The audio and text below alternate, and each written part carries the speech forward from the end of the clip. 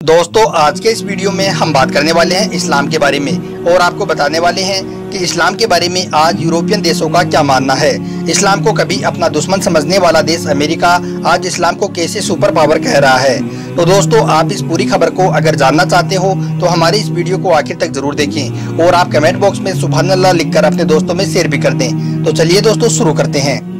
दोस्तों, सबसे पहले तो बात करते हैं ब्रिटेन की। ब्रिटेन सरकार ने हाल ही में ये फैसला किया है कि अब जुम्मे का खुतबा और अजान की आवाज़ हर जुम्मे के दिन रेडियो पर प्रसारित किया जाएगा, ताकि पूरा देश इनको सुन सके। हम आपको बता दें कि ब्रिटेन में ऐसा पहली बार हुआ है। दोस्तों, इसी तरह से जर्मनी में भी पहली बार लाउड स्पीकर पर अजान दी गई है, जिसको सुनने के लिए लोगों की काफ़ी भीड़ जमा हो गई थी। दोस्तों, कहने का मतलब ये है कि हाल ही में पूरे यूरोप में लोग इस्लाम से काफ़ी मुतासर हो रहे हैं और इस्लाम में दाखिल भी हो रहे हैं, यानी कि यूरोप में इस्लाम तेज़ी के साथ फैल रहा है। और ख़ास करके अमेरिका में। हाल ही में अमेरिका में इस्लाम अपनाने वालों में तेज़ी के साथ इजाफा हो रहा है। अभी हाल ही में अमेरिका में एक चर्च में अजान भी दी गई थी, जिसे आपने भी ज़रूर देखा और सुना होगा। दोस्तों, हम आपको बता दें कि यही अमेरिका कभी इस्लाम को देखना पसंद नहीं करता था। इस्लाम को मिटाने की, इस्लाम को दबाने की हर तरह की इसने कोशिशें की थी, लेकिन इसकी तमाम कोशिशें बेकार गई। इस्लाम के खिलाफ उठने वाला हर कदम इस्लाम को फैलाता ही चला गया। जब अमेरिका में इस्लाम को हर तरह से बदनाम किया जाने लगा तो लोगों में इस्लाम को जानने की इच्छा हुई। और लोगों ने इस्लाम के बारे में जानना शुरू कर दिया। लोगों ने इस्लाम के बारे में पढ़ना शुरू कर दिया। और जैसे जैसे इस्लाम को वो पढ़ते गए वैसे वैसे सच्चाई उनके सामने आने लगी। और उनको ये मालूम हो गया कि इस्लाम ही एक सच्चा मज़हब है और यह सिर्फ़ हक की दावत देता है। आज यूरोप में सबसे ज़्यादा तेज़ी से फैलने वाला अगर कोई मज़हब है, अगर कोई धर्म है तो वो है सिर्फ़ इस्लाम। दोस्तों, अमेरिका जैसे सुपर पावर देश को भी अब ये लगने लगा है कि इस्लाम जैसा सुपर पावर कोई नहीं।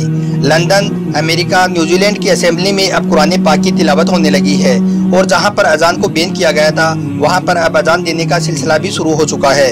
यहाँ तक कि अब वहाँ के कई वैज्ञानिक भी इस्लाम की तालीम को सच्चा साबित कर चुके हैं। दोस्तों, इसी तरह से रशिया में 1917 ईस्वी में पंद्रह हज़ार मस्जिदें थी। मगर उस दौर में वहाँ की हुकूमत ने इस्लाम को और इस्लाम के मानने वाले लोगों को लगातार ख़त्म करने की कोशिशें की थी। इसी वजह से सोवियत यूनियन के दौर में सिर्फ़ चौरानवे मस्जिदें ही बाकी रह गई। यानी कि बाकी मस्जिदों को या तो शहीद कर दिया गया या फिर डांस बार बना दिया गया या फिर उन मस्जिदों पर ताला लगा दिया गया।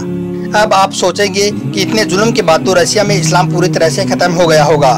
मगर हम आपको बता दें कि इतना जुल्म सहने के बाद शायद ही दुनिया की कोई दूसरी कौम होगी जो दोबारा खड़ी हो सके। लेकिन कहा जाता है कि इस्लाम वो पौधा है जिसको जितना काटोगे, यह उतना ही फलता फूलता जाएगा। यह उतना ही ज़्यादा हरा भरा होगा। इसी बात का गवाह बनी है आज रशिया की बड़ी बड़ी और खूबसूरत मस्जिदें। आज रशिया ने भी यह मान लिया है कि तरक्की इस्लाम को ख़त्म करके नहीं, बल्कि इस्लाम को गले लगाकर की जा सकती है। अल्लाह के करम से आज रशिया में तकरीबन आठ हज़ार मस्जिदें हैं और मौजूदा वक्त में मुस्लिम आबादी दो करोड़ पैंतालीस लाख तक पहुँच गई है। दोस्तों, अल्लाह ताला ने इस्लाम में वो लज्जत रखी है कि इसे जितना दबाया जाएगा, यह उतना ही फलता फूलता जाएगा। और आज अमेरिका जिन हालातों से गुजर रहा है, उसके बारे में तो यहाँ तक कहा जा रहा है कि अब अमेरिका पहले जैसा सुपर पावर नहीं रहेगा। और साथ में अमेरिका में इस्लाम का बढ़ता क्रेज भी इस बात की तरफ़ इशारा कर रहा है कि आने वाले कुछ वक्त में अमेरिका पर इस्लाम का ही राज होगा। और न सिर्फ़ अमेरिका पर, बल्कि पूरे यूरोप में इस्लाम छा जाएगा। याद रखें कि इस्लाम था, इस्लाम है, और इनसे अल्लाह इस्लाम हमेशा रहेगा।